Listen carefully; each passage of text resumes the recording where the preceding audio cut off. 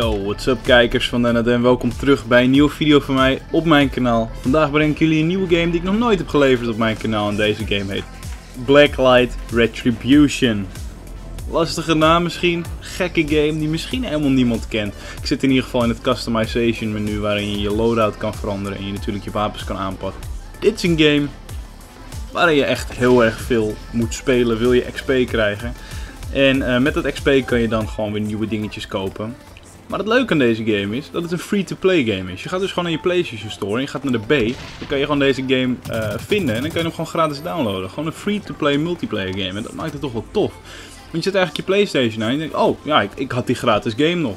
Maar ik ben me er dus in gaan verdiepen. En ik ging deze game best wel lekker. Ik speelde gewoon echt een goede game.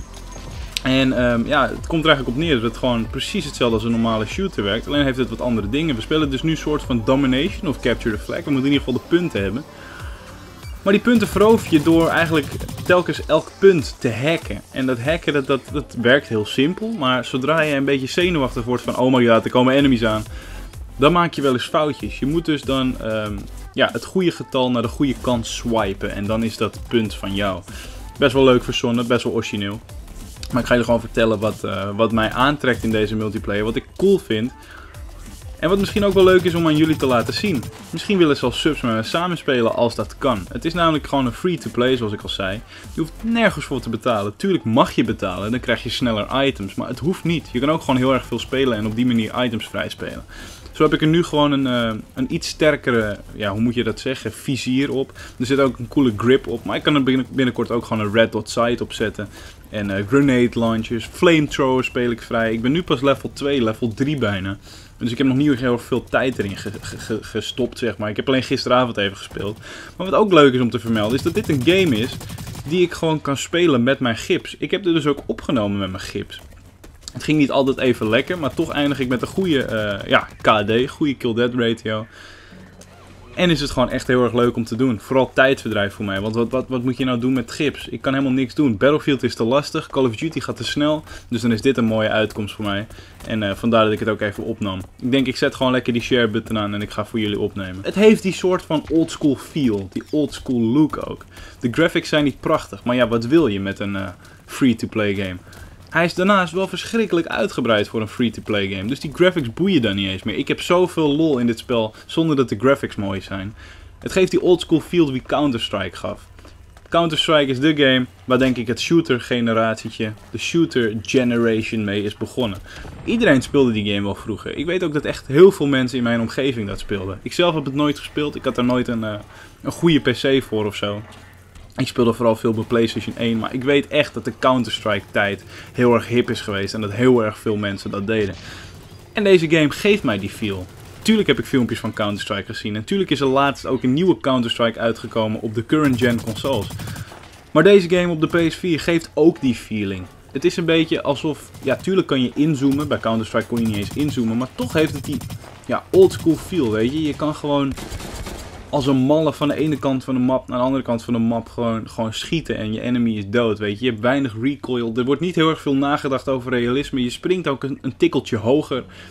Deze game is eigenlijk gewoon een, serieuze shooter met een, een stukje fun, een stukje vermaak. Het amuseert mij gewoon. Ik vind het echt heel erg leuk. Ik vind het juist leuk dat ik een stukje hoger kan springen dan in Battlefield. En een stukje verder kan springen en vanuit de lucht nog kills kan maken. Ik vind het eigenlijk wel cool. Zoals jullie zien, je hebt ook gewoon een grenade op zak. Wat je later gewoon kan uitbreiden naar, uh, weet ik veel, stun grenades, smoke grenades. Wie weet nog zelfs napalm grenades, dat de grond in de fik staat. Ik zou het natuurlijk in deze video willen weten, maar jullie kunnen niet meteen antwoorden. Dus zet het even in de comments wat jullie tot nu toe van de game vinden. En of jullie het misschien al hebben gespeeld. Want ik weet dat heel veel abonnees van mij de PlayStation 4 ook tot hun beschikking hebben. En ik weet eigenlijk niet of heel veel mensen wel weten dat deze gamer is. Ik wist het ook niet. Ik heb het gewoon eigenlijk per ongeluk aangeklikt toen ik mijn PlayStation 4 net binnen had. Echt in de eerste drie dagen dat ik mijn PlayStation 4 had.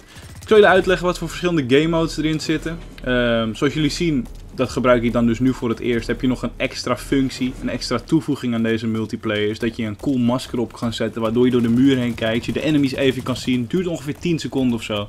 Gewoon een geinige extra ability. Die ook na 10 seconden weer verloopt. En dan ga je gewoon verder, zeg maar, uh, met de game.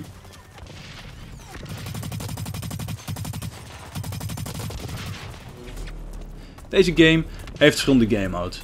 Waarschijnlijk heb je een standaard free-for-all. Dat weet ik niet. Dat durf ik niet met zekerheid te zeggen, maar het zal er hoogstwaarschijnlijk in zitten.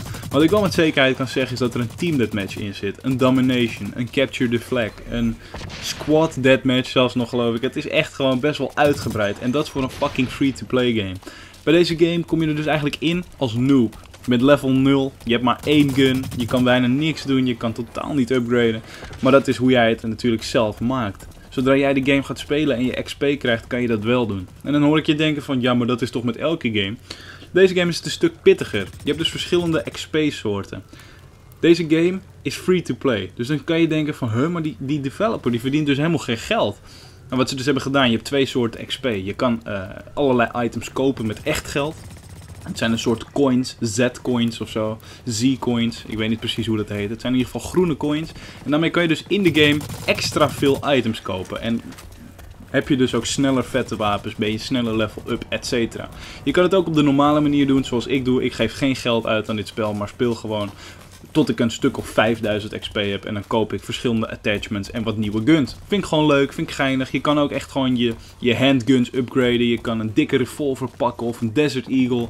Of een shotgun als tweede wapen. Van die mini shotguns zoals je in Battlefield 4 bijvoorbeeld de Shorty hebt. Nou, ik vind het gewoon heel erg vet voor een free-to-play game. Ik vind het er ook voor de rest gewoon heel erg goed uitzien. Ook als je iemand killt, eh, de sensitivity voelt lekker. Het spelen voelt gewoon lekker. Het voelt allemaal smooth. En dat verwacht je gewoon niet zo snel bij een free-to-play game. Dus zeker jongens, ik raad deze game aan. Mocht je nou, nou echt vergeten hoe deze game heet, check dan gewoon de titel even. Want ik weet dat als ik het uitspreek, dat de meeste van jullie toch niet snappen wat ik zeg. Dus kijk gewoon even hoe je het schrijft in de titel. En uh, check de game in de PlayStation Store.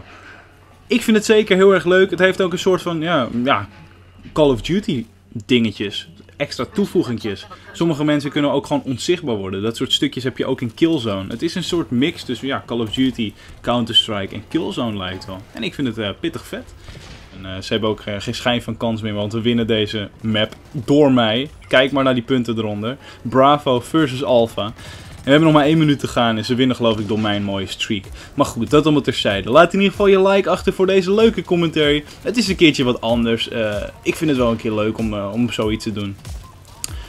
Laat even weten wat je van de game vond. Laat even weten of je misschien ervaring hebt met Counter-Strike. Dan is dit zeker wel iets voor jou, want dit doet me er echt verdomd veel aan denken.